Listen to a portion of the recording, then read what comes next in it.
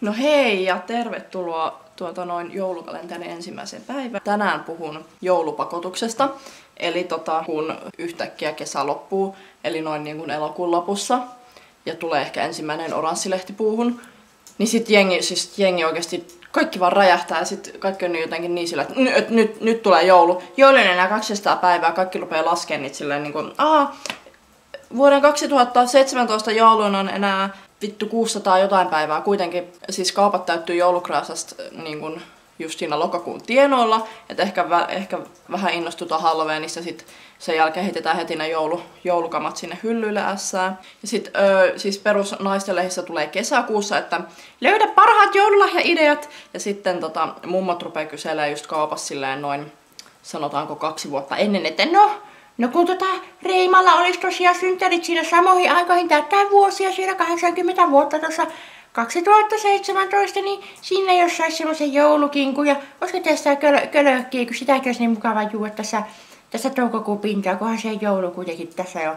se on ihan kuitenkin koska nurkan takana. Niin Sitten mitä vittua, eikö ihmiset osaa nauttia niinku vuoden ajoista silleen, että, tai mä ainakin silleen, että okei, okay, jees, syksy, tulee joulu ja alkaa vituttaa kohta, mutta silleen, että et onhan siinä se oma tunnelmansa. Että, et, et, toi on tällaista perusti, että kun ihmiset elää viikonloppuja varten tai ihmiset ottaa vain kesää koko vuoden ja, tai sitten just joulua tässä tapauksessa. Että e, eikö voi vaan olla silleen, että, että nyt on syksy ja joulu tulee sitten ajallaan. Ja ei siinä ole mun mielestä mitään sellaista hy- hyysäämisen tai sellaista, että, että pitäisi jotenkin kiirehtiä. Että ei, ei se joulu mene niin yhtäkkiä ohi tai niin kuin, ellei nyt oikeasti plännää jotain, en mä tiedä, pikkujouluihin pikkujoulut vittu Stadical Cheek esiintyy, niin sit varmaan pitäisi vähän niin kuin miettiä etukäteen. Mut kun tälleen normitapauksissa mm, pitää hankkia joulukuusi ja ostaa joku turha krääsä, minkä voisi antaa Big Mac-leluna, ei siis Happy Meal-leluna, Mäkkärissä siis tämän settiin.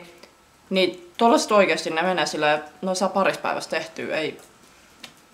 Mä en taju. Ja muutenkin, kun suuri, niin kuin suuri osa ihmisistä ne ei edes vietä joulua silleen tai siis no ne viettää joulua, mutta ne ei valmistele mitään. Ne vaan kaivaa nenää niin kuin joku perus Mari Petteri salaatin kastike siellä vähän istuu vovittaa ja sitten mutsi laittaa jotain niitä sellaisia punaisia, punaisia tonttuja sinne ikkunaan ja sitten hmm, hirveä kiire.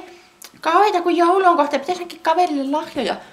Ja tällä, oh, ihmiset vasta ressaa niin turhaan, koska eikö joulu rauhoittamisen aikaa, niin eikö se vähän syö sitä ideaa, että et, vai onko se vaan, että et sit saa rauhoittua vasta, jos on oikeasti laihtunut sen 10 kiloa siinä, kun on puuskuttanut pitkin niin kuin läpi kaikki Suomen tiimarit, kun etsii sitä täydellistä, täydellistä puupalloa, millä voi koristella sitä joulukorttiansa.